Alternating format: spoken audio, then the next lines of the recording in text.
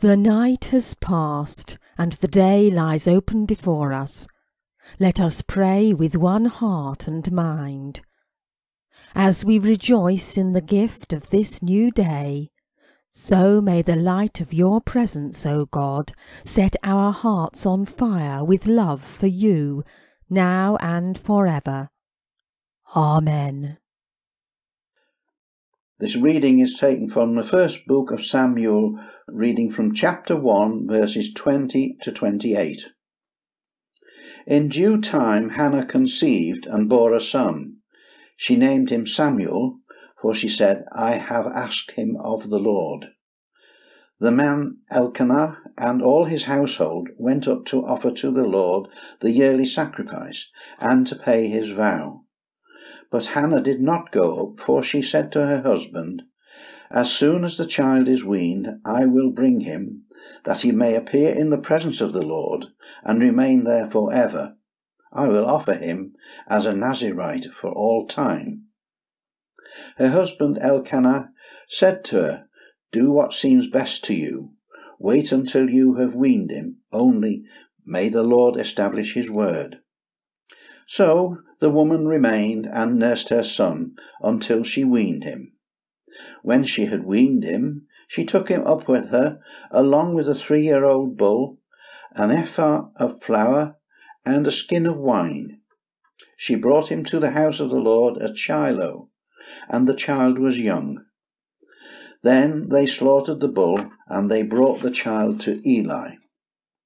And she said, O my lord, as you live, my Lord, I am the woman who was standing here in your presence praying to the Lord.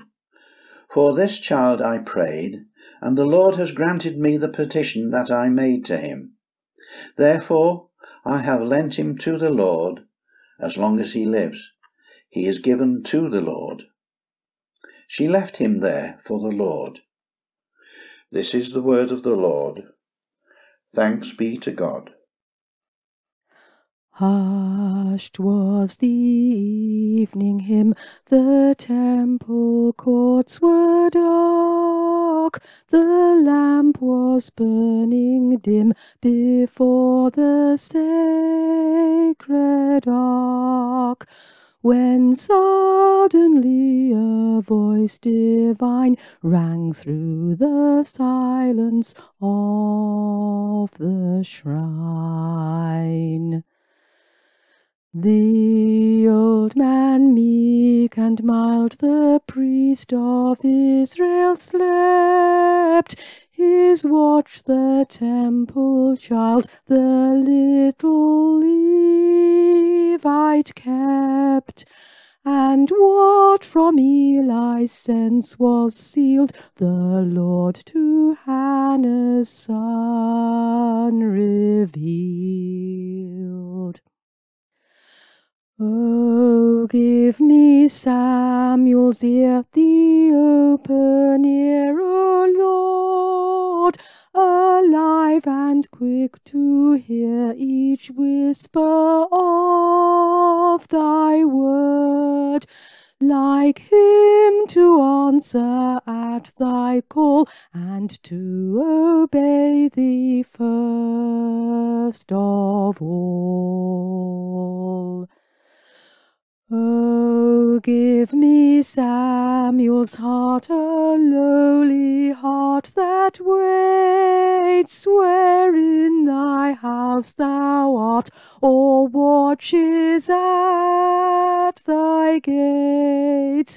By day and night, a heart that still moves at the breathing of thy will.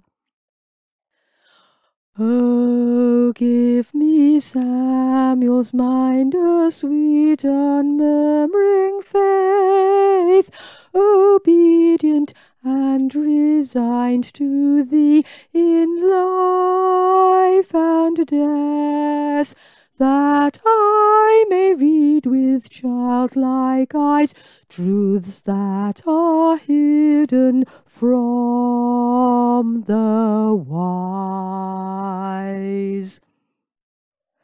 The Gospel according to Luke, chapter 2, verses 33 to 35. And the child's father and mother were amazed at what was being said about him.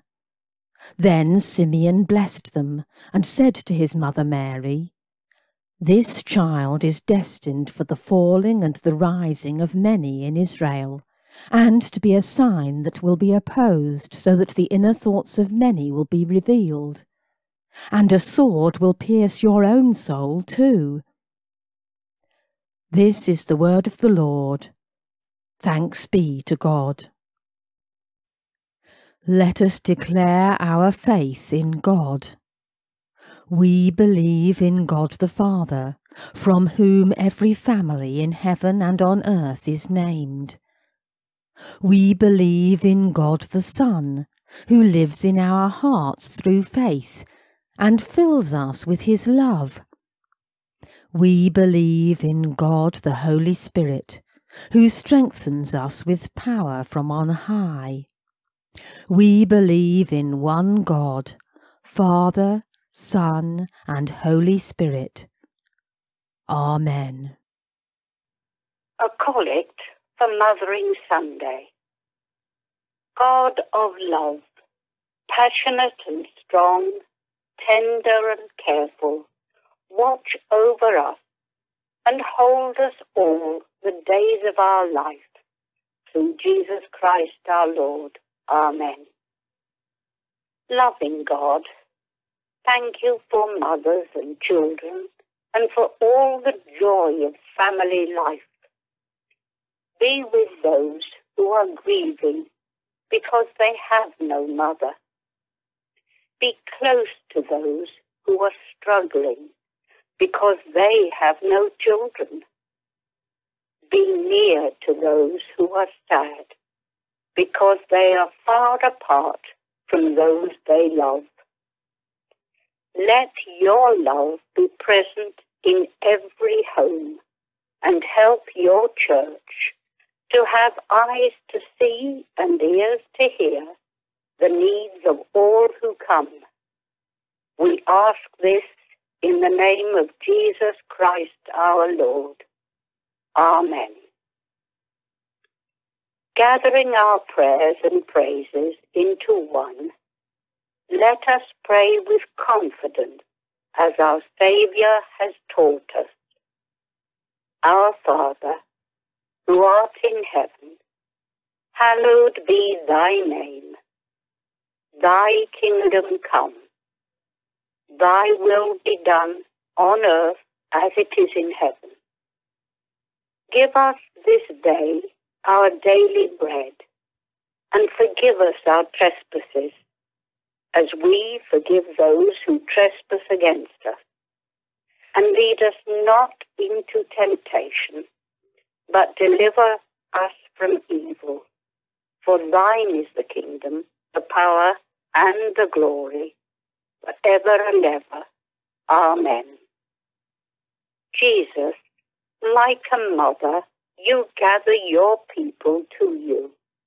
You are gentle with us, as a mother with her children. Despair turns to hope through your sweet goodness. Through your gentleness, we find comfort in fear. Your warmth gives life to the dead. Your touch makes sinners righteous. Lord Jesus, in your mercy, heal us. In your love and tenderness, remake us. In your compassion, bring grace and forgiveness. For the beauty of heaven, may your love prepare us. Amen. The Lord bless us and preserve us from all evil, and keep us in eternal life. Amen. Let us bless the Lord. Thanks be to God.